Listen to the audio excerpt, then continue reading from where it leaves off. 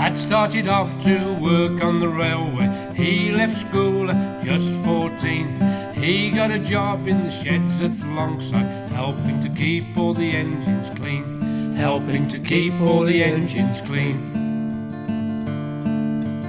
He became a fireman on the LMS railway.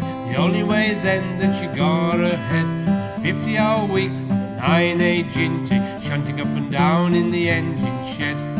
Shunting up and down in the engine shed. Had passed fireman on the LMS railway, graduated in the course of time to working like a navvy on a 464 tank, toiling away up the Buxton line, toiling away up the Buxton line. Hungry 30s on the LMS railway, saw me dad pretty well content, newly in charge of a jolly old jumbo, bucketing away into Stoke-on-Trent, bucketing away into Stoke-on-Trent. Thirty years work on the LMS railway, thirty years labour, hard and hot. Dad ended up as a top link driver on a London trains with a rebuilt Scot, a London trains with a rebuilt Scot.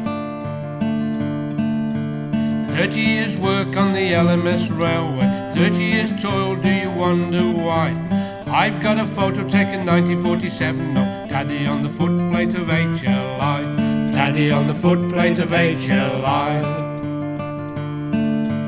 Daddy is lord of his whole creation. Daddy is king of his own success. It's good to be a driver on the LMS railway. Everybody's heard of the LMS. Everybody's heard of the LMS. My dad lived and breathed for the LMS railway. Long ago, it's rather sad. It'll soon be forgotten, will the LMS railway. Who's ever heard of me dear old dad? Who's ever heard of me dear old dad?